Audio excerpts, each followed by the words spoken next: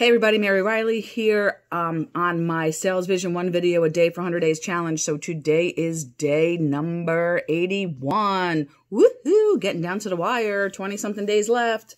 Um, or actually 18, whatever.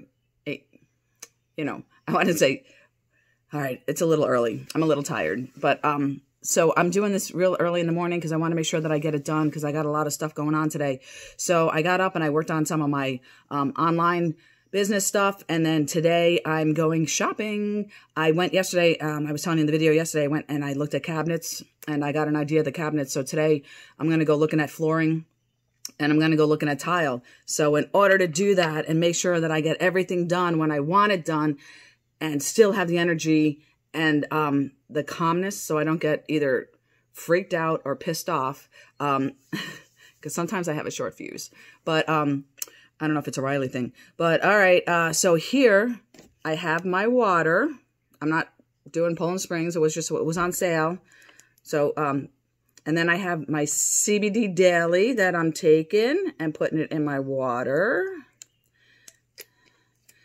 And then I have my CBD lean that I'm taking and I'm putting in my water. And then I have my biodefense from my immune system that I'm taking. I know it seems like a lot of stuff, but hey, it's keeping me healthy. I'm feeling amazing on it. Okay, come on. I didn't have this one open. Take this off. Oop, I'm almost out of this one, but I have another jar. I'm putting that in my water too. So this is called microdosing. So I can drink, drink it throughout the morning. And then, of course, I'm doing my Limitless. And then I'm doing my veggies. And then I'm doing my fruit. And I am not doing my allergy medication anymore because all this stuff has gotten me off medication.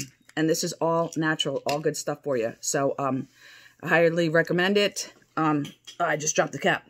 So, uh, hey, here's to uh, Good Friday, happy and safe 4th of July. God bless you, God bless America, and God bless our troops.